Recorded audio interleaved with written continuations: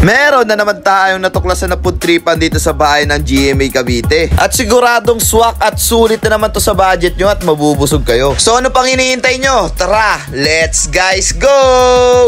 Jack!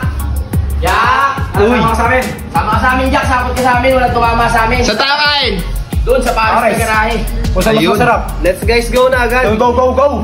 So ayun na nga po guys, nandito na nga po pala kami sa parisan ni Paris sa garahe. Kasi guys, balita ko tinatawa at pinipilahan daw dito. At ayun na nga po guys, totoong tinatawa at pinipilahan nga po pala talaga sila dito. Kasi tignan nyo naman guys kung gaano karami yung tao dito. At alam nyo ba guys kung bakit tinatao dito? Malamang sa malamang guys, sobrang sarap ng Paris nila dito, matik yun. At di naman basta-basta tinatao yan kundi masarap, di ba? Kaya alam ko at alam nyo din na masarap dito, promise. At ayun na nga guys, ito nga po pala yung location nila. Barangay Ramon Cruz, Block 10, Lot 61, GMA Cavite. At wasteable naman din po pala sila guys, kaya madali nyo lang po siya matutuntunan. Bali, search nyo lang po pare sa garahe, matik yun, lalabas na po yun. At ayun na nga guys, meron nga po pala sila dito sinaserve na overload pares. Na talaga namang overload sa dami ng laman. At ito pa guys, takal vlogger nga po pala sila dito. Di gagana yung technique mo dito kasi kahit di ka magpanggap na vlogger, pang vlogger na talaga yung takal o lagay nila dito. Kung tutuusin nga guys, mas marami nga yung laman nila dito kaysa sa sabaw. Pero yung sabaw naman po nila dito guys is unlimited. Kaya kahit gaano karami yung hingin mong sabaw, okay na okay lang sa kanila. Basta guys, ubusin nyo lang yung sabaw nila at wag na wag ka magtitira. Kasi guys, kapag hindi mo naubos yun, ang pangit mo ka banding kapag ganun. At ayun pa nga guys, makikita nyo yung thickness ng sabaw nila dito. Di siya malapot at di rin siya malabnaw. Talagang panaktuan lang talaga siya. Kaya napaka all goods nito para sa akin. At ito pa yung maganda guys, may pre-unlimited juice nga po pala sila dito kapag tuwing linggo nga lang po pala yun. Kaya kapag gusto mo may kulay yung tubig mo, punta ka lang doon kapag tuwing linggo. At umorder na nga po pala kami ng overload pares. Sa halagang 145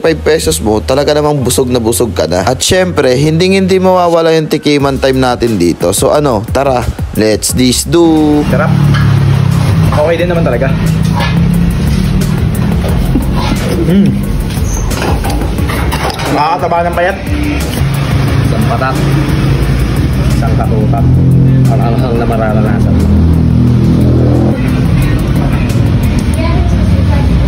Oh. Okay na okay na guys. Actually, talagang tamang-tama sa lamig ng panahon. Talagang yung mga lasa niya, tamang-tama lang talaga yung lapot. Talagang di mo pagkisisihan. Yung overload niya, over talaga. Pati sa over sa sarap. Sarap.